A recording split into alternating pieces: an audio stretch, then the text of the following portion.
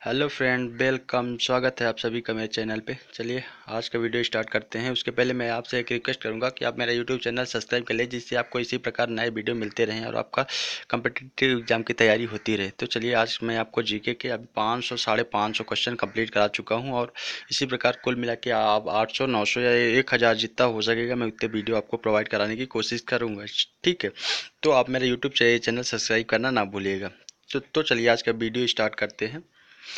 संसद का संयुक्त अधिवेशन कौन बुला सकता है? राष्ट्रपति। ठीक है L P L L P W किस खेल से संबंधित क्रिकेट से। वायुमंडल की कौन सी परत हमें सूर्य से आने वाली अल्ट्रावाइटिक किरणों से बचाती है? ओजोन। ठीक है, ख्वाजा मोइनुद्दीन चिश्ती का दरगाह कहाँ है? अजमेर में, जो काफ़ी प्रसिद्ध है। ठीक है, सम्राट अशोक ने किस युद्ध के बाद बौद्ध धर्म ग्रहण किया था? कलिंग का युद्ध के बाद। ठीक है, उन्होंने बौद्ध धर्म ले लिया था उपगुप्त के कहने के बाद। भारत का केंद्रीय बैंक कौन सा? भारतीय रिज़र्व बैंक, ठीक है, आरबीआई। सलारागंज म्यूज़ियम कहाँ है? हैदराबाद में। भारत के सबसे लंबे समय तक मुख्यमंत्री कौन रहा? ज्योतिराज बसु। अब पवन चावलिंग हो गए हैं, ठीक है। आप ये चीज़ ध्यान रखिएगा। संसार की सबसे लंबी नदी कौन सी है? नील। किस तापमान पर? सेल्सियस और पर्याय तापमान बराबर हो जाते हैं, माइनस चालीस डिग्री पर, ठीक है। कांसा किसकी मिश्रता थी? ताबा और टीना की।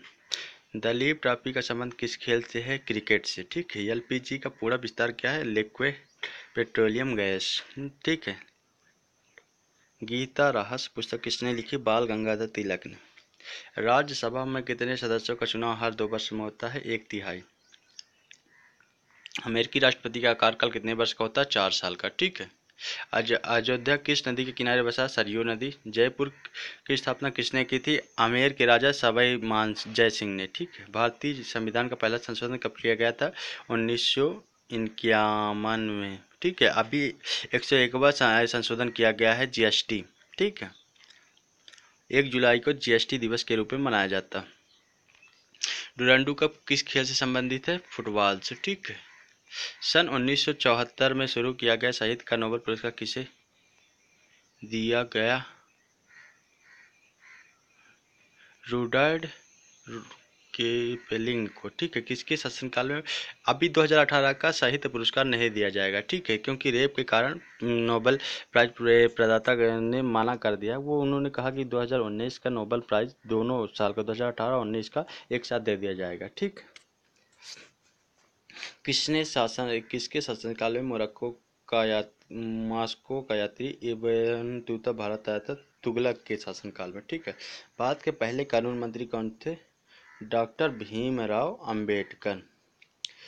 अभिमा, अभिज्ञान शकुंतलम के लेखक कौन थे? कालिदास।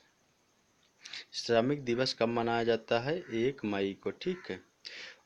ओडिसी किस राज्य का शास्त्रीय नृत्य है ओडिशा का? भाखड़ बाँध किस नदी पर बनाया गया? सतलुज। ठीक है। तो चलिए आज का वीडियो बस यहीं समाप्त करते हैं। फिर आपके लिए इसी प्रकार बहुत सारे वीडियो लेके आपके लिए फिर से उपस्थित होंगे। तब तक के लिए बाय थैंक यू शुक्रिया गुड बाय सी यू